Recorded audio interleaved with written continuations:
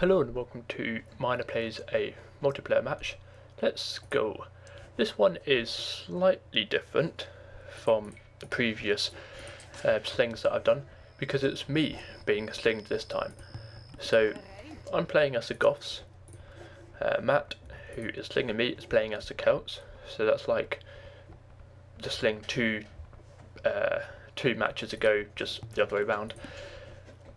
Oliver King the first Olivier King the First playing as the Chinese, and James playing as the Aztecs.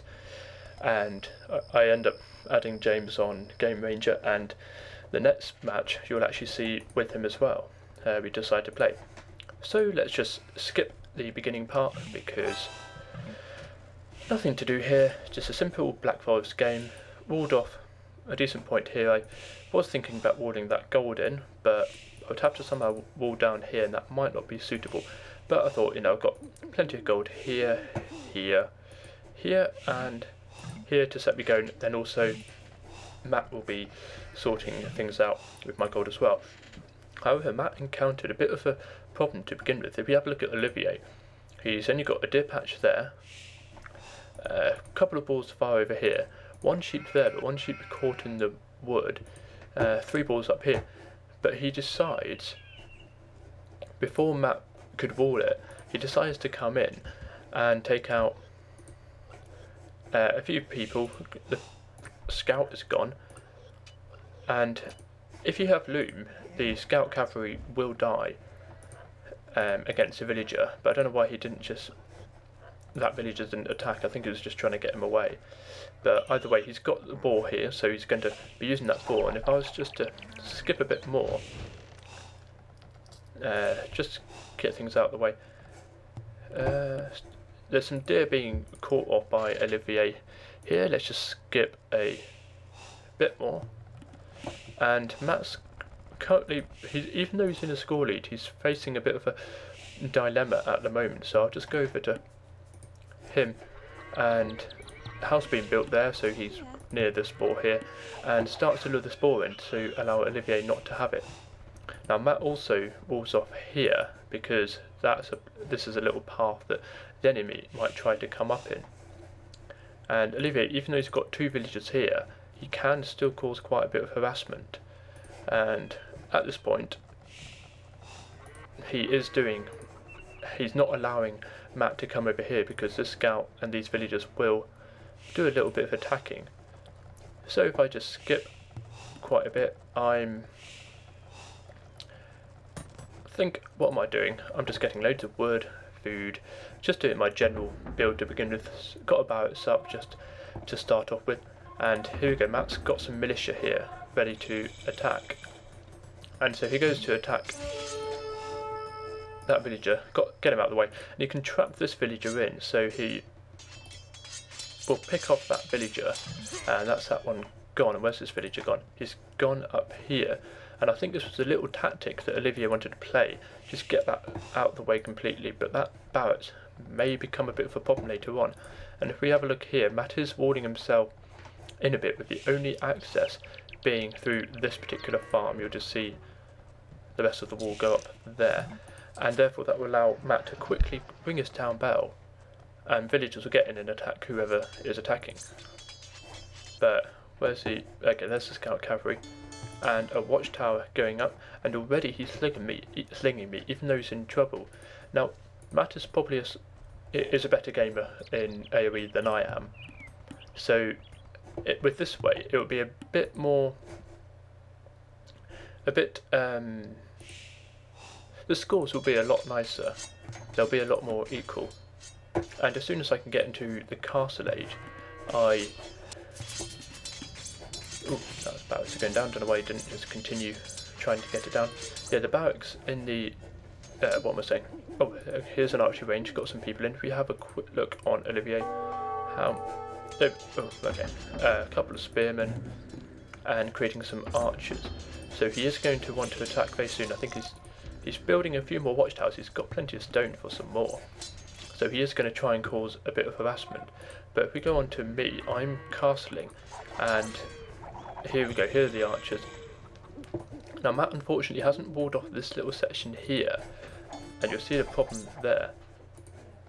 These, these archers are going, but only very slightly. And there's a watchtower there that's going to be doing some damage, but not to these spearmen. These spearmen unfortunately can get away with it. However, against a villager, I reckon the spearmen might just lose. But that those spearmen are going to go down, and these two palisade walls are going to go up there. So we just skip, just spit these archers are coming down, and they realise they can get in here and get rid of that villager there. Meanwhile, how many barracks have we got? Uh, seven barracks, a castle, plenty of villagers. But we need to see what's happening here. And against an archer, uh, the villager may just about win, but here come the militia. And they're able to pick off uh, one, two, three, ooh, not quite, but there's two archers. And getting villagers to attack them, as you do. And there we go, that's the main threat gone. But three watchtowers up here, and I believe I've just sent up a bunch of my Goths. So let's go up here and do the harassment. So I start taking out some of the towers, get rid of that villager while he's there, and that's one tower, two towers, three towers gone. Start taking out some of the military buildings, and Olivier has just gone to the castle. So there we go. And here we go. Olivier's trying to work his way back in. And I just check up here just to make sure there's no one else up here. And there wasn't actually. But here we go. My score is about a thousand ahead, but I have got plenty of. I need just. I need more food actually. That's the main thing I need. And I keep these Goths here, just in case. But one thing Matt hasn't realised, and I don't know whether um, Olivier realised this as well, even though he's, he's warding himself in, so he's not going to worry too much about that. Building a castle there, so I think he's going to take out some of this palisade wall. But Olivier can get through here and round here and get into base, so Matt does need to do something about that. And there's dogs barking outside. So if we go back, uh, got these people here just in case. And here we go, producing loads of well, I say producing. Here we go, I'll start to start to go in. I've only got um I take try to take out this gate and here we go, here's some Chuko-Nus that come back. And I think I sent my uh, up. But the thing is, oh yeah, here we go. There we go, that, those those Huskarls going up, sort out these Chuko-Nus. The thing is, um, Matt has asked me to take care of Red, uh, Olivier, straight away. But I end up going for blue just before he says, and this gate is about to go down. And then I go, uh, because I've already gone for blue, I, I'll, I do, I just carry on there. But these Huskarls will be able to take out these Chuko-Nus pretty easily. You can see them just going here. Oh, they'll soon go. I'll just come back down to here. Taking, getting rid of this castle. And Jaguar Warriors aren't going to do too much of an effect against a bunch of Huskarls. And ooh, one Huskarl converted, but that monk is going to go. And James isn't doing too well. He's got he's got plenty of resources and he's got various archers out, but the archers aren't going to have too much of an effect against um, Huskarls. The Huskarls would just be able to take them out straight away. I mean, the archers, they haven't got any armour, they've only got the extra attack and range. So I walks into that base, not a problem whatsoever. And I keep... Uh, Red tried to be sneaky and build, put a castle in here, but I stop him from doing that, and I take out the castle. Uh, send those two back, and don't know what to do there, but anyway, Blue is almost gone. He's what's he got left? Uh, oh, these villagers up here and this, these two buildings here. So I flushed him out of his base, and he is starting to create another base up in the corner. And as soon as I get these Huskarls, oh, as soon as I destroy these buildings, I will then uh, be able to approach the next step. But here comes some more Huskarls. Uh, there we go. And because I got rid of his buildings, James is on 10 out of 5, so he has to create at least two new houses to in order to be able to um, get some more uh, people. So he's got, what are you going to do? Lumberjack? No.